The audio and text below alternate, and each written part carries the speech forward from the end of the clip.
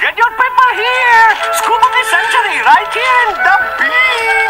The beaner! Uh. All right, Mr. Newsy, hand it over. Hun, what over? You know what? The newspaper. Give it to me. Come on.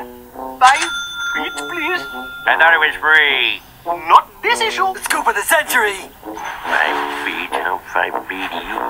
Joyous and free! Ready? I need to borrow five feet. Here you go, you con artist. Now give me the paper. Come on, I don't have all day. Lumpus is trying to read the bean. Come back here with my paper. And Lumpus the lead! Give me of the century! Now! I am going to read that paper if it's the last thing I do. Um, yes, I was wondering if you had any spare newspaper I could use for the bottom of my bird cage. The latest issue of The Bean, perhaps. Your bird isn't even alive. Listen, Scoutmaster, we're on to you. You're not allowed to read the bean unless you're a bean scout. Well, these ragtags are smarter than I thought. I need to think of a new plan.